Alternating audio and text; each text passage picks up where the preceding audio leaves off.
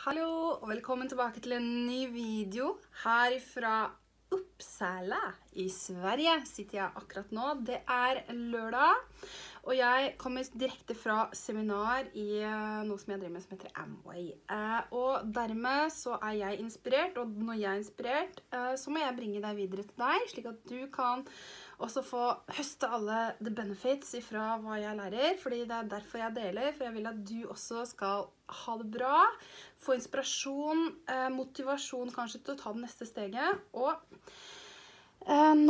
har jeg lyst til å snakke litt om viktigheten av å se ting for seg. Så da spør jeg deg, nå, hva, jeg snakker mye på dette her, hva er det du ønsker deg, og hva er det du vil ha?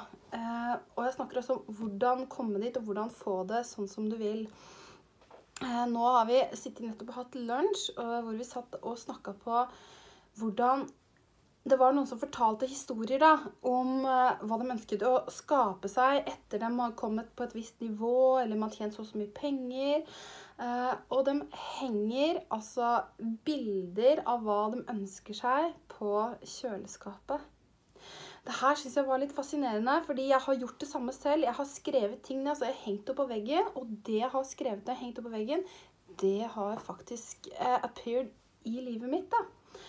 Uh, jeg vet i hvert fall hva jeg skal henge på kjøleskapdøra mi. Uh, så jeg vet ikke Hva er det du ser for deg i fremtiden uh, at du ønsker å få inn i livet ditt? Det kan være en ny jobb, det kan være en ny bil, det kan være et nytt hus, det kan være materielle ting. Det er helt fint, men det kan også være relasjoner. Og det var bl.a. noen som snakka også på at de ønska seg barn.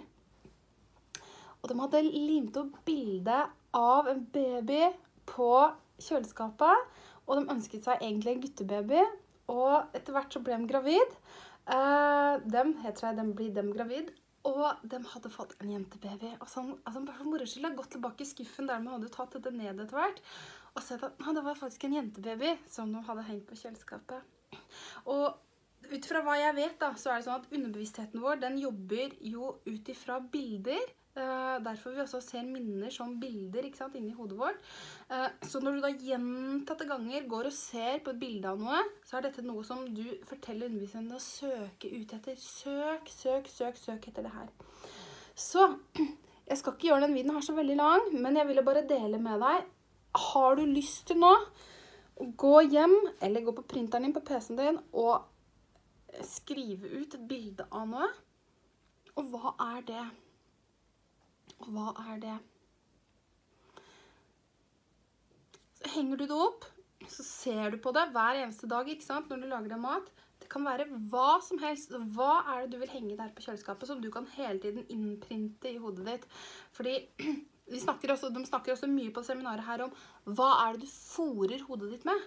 Altså, hva, hva fôrer du hodet ditt med? Fôrer du med masse nyheter, f.eks.? Altså, er det Dagsrevyen på NRK? Er det nyhetene på TV 2?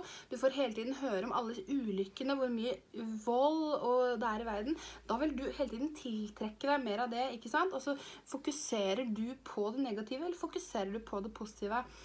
Hvilke bøker leser du? Hvilke TV-program ser du på? Alt dette her er viktig. Hva fôrer du hodet ditt med på et daglig basis? Og en annen ting som jeg tok veldig inn på meg, da, uh, som jeg også selv har falt inn og ut av, det her er det som egentlig definerer deg, det er vanene dine. Hva slags vaner har du? Jeg har hatt veldig mange uvaner. Vet ikke med deg. uh, men etter hvert som vi modner og ser viktigheten av vanene, hvordan kan du endre en vane? Og du, du endrer tankegang ved å endre hva du forer hodet ditt med. Så hvis du fôrer hodet ditt med det du vil ha, henger det på kjøleskapet ditt, så kan det komme til deg mye lettere. Det vil jeg bare dele med deg. Eh, hva fôrer du hodet ditt med, og hva har du lyst på å henge på kjøleskapet ditt som kan skje for deg i fremtiden?